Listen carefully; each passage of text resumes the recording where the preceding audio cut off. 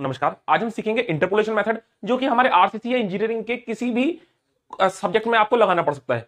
ये मेथड कहाँ काम आता है? देखिए, जहाँ पर एक आपको कोई बड़ी सी टेबल दे रखी होगी, उस टेबल में यहाँ कोई एक एक्स की टर्म कोई वाई की टर्म होगी। अब आपको मान लो, मान लीजिए एक्स की कोई एक एक टर्म दे रखी बीस पर, तेईस पर, चौबीस पर, अट्ठाईस पर, ऐसे कुछ वाई की हमें वैल्यूज़ दे रखी होंगी। लेकिन हमें जो निकालनी है वाई की वैल्यू वो निकालनी है जब एक्स बराबर होगा, मान लीजिए साढ़े तेईस।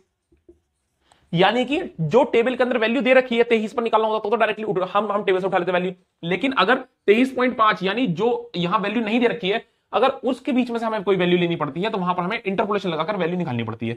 इंटरपोलेशन में एक बात का ध्यान रखना है कि जिस भी वैल्यू का हमें चाहिए होता है जैसे हमें यहाँ वाई चाहिए एक्स बराबर तेईस पर यानी एक्स जो तेईस है तेईस पॉइंट पाँच है उस पर हमें वाई की वैल्यू चाहिए। तो तेईस पॉइंट पाँच कहाँ आएगा? यहाँ पर आएगा। यानी इससे एक छोटा वाला, तेईस, वो हमारे पास होना चाहिए। इससे एक बड़ा वाला जो कितना भी बड़ा हो, चौबीस हो, पच्चीस हो, अट्ठाईस, तीस, पैंतालीस, कुछ भी हो। यानी ये जो वैल्यू हमें है, उससे एक छोटी वाली वैल्यू भी टेबल में होनी चाहिए, उससे एक बड़ी वाली वैल्यू भी टेबल में होनी चाहिए। चाहे कितनी भी बड़ी हो या कितनी भी छोटी वैल्यू हो उससे। बस ये उसके बीचों बीच लाई करना चाहिए टेबल पर कहीं ना कहीं। अब देखो, सबसे बढ़िया एग्ज़ाम्पल हम लेकर चलेंगे, आपको एकदम से समझ में आ जाएगा इंटरपोलेशन एक्स कोई व्यक्ति है, उसके पास फ़िलहाल पाँच रुपए है। पाँच रुपए कब है? जब बजे थे दो। जब बज गए आठ, अब उसके पास है तेईस रुपए। यानी उसके रुपए समय के साथ साथ बढ़ रहे हैं। मान लीजिए हमें बताने हैं कि एक्स के पास कितने रुपए हैं, बताने हैं। लेकिन कब बताने हैं? हमें बताने हैं जब टाइम हमारा हो रहा होगा छह। यानी जब टाइम छह बजे होंगे, उस समय हमें बताना है कि एक्स के पास कितने रुपए हैं। हम देख सकते हैं जब दो बजे थे, या कह लो कि दो दो घंटे बाद टाइम है, किस तरीके से आप लिखते हैं। ये तो एग्ज़ाम्पल लिया गया है सिर्फ़। मान लीजिए दो घंटे बाद उसके पास रुपए पाँच थे और आठ घंटे बाद उसके पास रुपए हो गए तेईस। अब हमें बताना है कि जब छह घंटे हो चुके होंगे उस समय उसके पास कितने रुपए रहे होंगे? अब ये कहीं बीच की वैल्यू बतानी टाइम छह यानी कि दो और आठ के बीच में लाई कर रहा है। हम इंटरपोलेशन लगाते हैं। अब यहाँ पे दो अप्रोच आती है इंटर, इंटरपोलेशन की। इंटरपोलेशन की दो अप्रोच आती है। एक तो हमारा आता है एडिशन और एक हमारा आता है सब्सट्रैक्शन एडिशन में क्या है? हम ये देखिए अब इसके बाद जितने भी रुपए हो मुझे अभी पता नहीं है कितने रुपए हैं लेकिन वो रुपए पक्का पाँच से तो ज़्यादा होंगे और तेईस से कम होंगे। तो अब दो अप्रोच है मेरी। एडिशन में क्या है? मैं बेस बेस मानूँगा पाँच को। यानी बेस में, मैं मानूँगा, इसको मानूँगा बेस और इससे आगे देखूँगा कितना आगे जाएगा वो, उसके रुपए और अगला हमारा अप्रोच ये है कि मैं बेस मान लू तेईस को।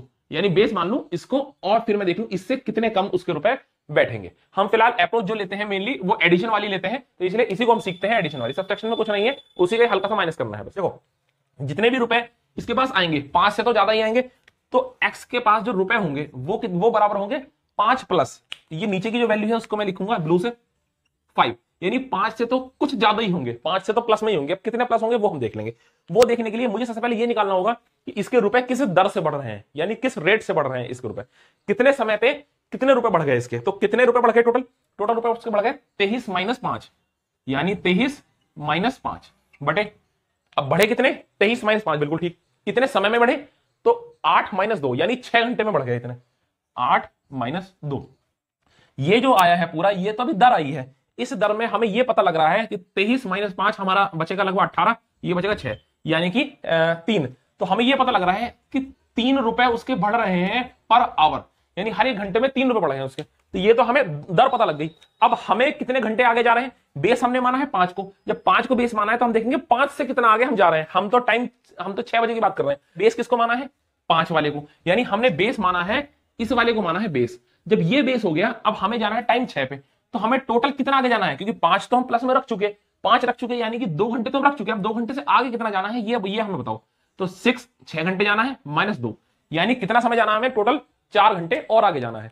तो अब इसके, इसकी अगर हम वैल्यू को सॉल्व कर लेंगे तो आएगा five plus three into six minus into four बारह और बारह पाँच हमारा ये सत्रह आंसर आएगा। इसका मतलब है कि छह घंटे बाद उसके पास टोटल सत्रह रुपए होंगे। ये है इंटरपोलेशन मेथड अब इसी की अगर हम फॉर्मूले की बात करें ये तो ये ये, ये तो रहा है इसका लॉजिक किस तरीके से ये मेन बना है? फैक्ट क्या है इसका? अब बात करते हैं कि इसका फॉर्मूला क्या होगा। सीधा आपको फॉर्मूला क्या मिलेगा? अब इसी से हम फॉर्मूला बना लेते हैं। तो हमने क्या माना? ये एक्स था तो इसकी वैल्यू हो गई यहाँ पर एक्स वन इसकी वैल्यू हो गई एक्स टू ऐसे ही जो टाइम था, इस टाइम की वैल्यू हो गई टी वन इसकी वैल्यू हो गई टी टू टी वन दो है एक्स वन पाँच है।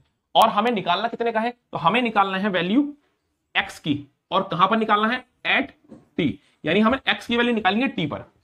अब सीधा देखिए फॉर्मूला क्या बन रहा है। एक्स एट टी बराबर है। हमने पहले किसकी वैल्यू ली? जो मेन हमारी एक्स की वैल्यू है। यानी x one x one plus फिर हमने यहाँ दोनों को माइनस किया x two minus x one divided by t two minus t one multiplied by अब यहाँ पर टाइम हमने कौन सा लिया है? जितने पे हमें निकालना है एक्स एट टी तो यहाँ पर टाइम लिया जाएगा टी माइनस देखिए टी हमने छह घंटे लिया था टी और माइनस फिर हमने किया था, जो पहला वाला समय था, क्योंकि बेस हमने उसको माना है टी वन तो ये टोटल इसका हो गया फॉर्मूला हमारा इंटरपोलेशन का। अब अगर हम सब्सट्रैक्शन वाले मेथड से करते तो उसमें हम हम क्या करते? अगर सब्सट्रैक्शन वाले हम मेथड को देखें तो सब्सट्रैक्शन वाले में हम यही एक्स की वैल्यू अगर हम निकालते हम बेस किसको मानते तेईस को। तो हम क्या करते तेईस और हमें पता रहता तेईस से कुछ तो वैल्यू कमाएगी तो तेईस माइनस अब माइनस में कितना कमाएगी पहले हमें निकालना होगा वही दर जैसे हमने निकाली। तेईस माइनस पाँच तेईस माइनस पाँच बटे आठ माइनस छह सॉरी आठ माइनस दो। ये दर आ गई वही। दर हमें पता लग, गुणा में हमारा, अब की बार यहाँ पर हमें ध्यान देना है सिर्फ़। कि हमारा जो आएगा आपकी बार डिफरेंस वो इन दोनों का निकालना है। यानी हमारा कितना था? टी आया छह। और ये कितना है हमारा? आठ। तो हम यहाँ पे लिखेंगे एट माइनस सिक्स हमारा टोटल निकाल लेंगे वैल्यू से कितनी आएगी? तो यहाँ आ गई तेईस माइनस ये हमारा पूरा पूरा बन जाएगा थ्री और ये हमारा आठ में ये गया गुणा दो। यानी ये बच गया छह। तेईस में से छह गया तो तेईस में से छह हमारा गया, आया हमारे पास सत्रह आंसर। यानी टोटल हमारा आंसर आपकी बार भी आया है सेम सेवनटीन सत्रह तो चाहे तो हम सब्सट्रैक्शन से करते हैं, लेकिन मेन इसमें क्योंकि माइनस का बीच में लॉजिक आ जाता है तो इस वजह से हम नहीं करते। आप इसलिए सिंपल सिंपल करें, किस तरीके से ऐड होता चलता अब देखिए, कई बार टेबल ऐसी होती है, जिसमें जहाँ हम देखते हैं एक्स की वैल्यू उसमें वाई की वैल्यू घटती जाती है। ये कह रहे हो, यहाँ पे देखिए टाइम दो घंटे में उसके बाद तेईस रुपए थे, जबकि आठ घंटे बाद उसके बाद रुपए बचे पाँच। यानी अब की बारी घट रहा है। तो भी हमें कोई नहीं है सिंपल जो हमने फॉर्मूला सीखा था, वही लगाना है हमको इसमें। हमें बताना है कि एट सिक्स यानी छह पर कितने रुपए इसके बाद बचेंगे, इतना बताना है। तो हमें कुछ नहीं, वही जैसा हम करते आए हैं, वही करेंगे। एक्स एट सिक्स छह पर हमें बताना है। सबसे पहले हम लेंगे, सबसे पहले हम मान लेंगे बेस बेस हम मान लेंगे इसी को स्टार्टिंग वाले को तेईस। हमने माना तेईस। देखिए, हम सब कुछ प्लस में लेकर चलेंगे। अपना आप ही माइनस हो जाएगा। प्लस हम क्या कर रहे थे अब तक? X two minus x one तो हमने किया five minus twenty three divide by eight minus two same वही लेकर चल रहे हैं, जैसा हम लेकर चले थे। इंटू हमें निकालना है छह घंटे छह घंटे पे। माइनस बेस किसे माना हमने? दो घंटे को। अब अपने आप माइनस बन जाएगा यहाँ पर। तो तेईस, जब पाँच में से आपका तेईस जाएगा तो यहाँ पर बचेगा आपका माइनस का अट्ठारह डिवाइडेड बाय यहाँ बचेगा छह। और जब ये कटेगा तो ये बनेगा तीन है लेकिन तीन बनेगा माइनस का, इसलिए बाहर जाके अपने आप ही ये माइनस हो जाएगा। यहाँ बचा चार तो ये हो गया तेईस। ये हो गया आपका तेईस माइनस तीन गुणा चार, यानी कि चार थी बारह और वही हमारा तेईस में से फिर बारह हमारा माइनस हो जाएगा। ये हमारा बचेगा ग्यारह। तो टोटल इसका आंसर आएगा ग्यारह। यानी कि इस बार जब छह घंटे हो चुके होंगे तो उसके पास ग्यारह रुपए बचेंगे। ये था पूरा इंटरपोलेशन उम्मीद करते हैं आपको समझ में आया, आया होगा। अब मिलेंगे आपसे अगली वीडियो में। नमस्कार।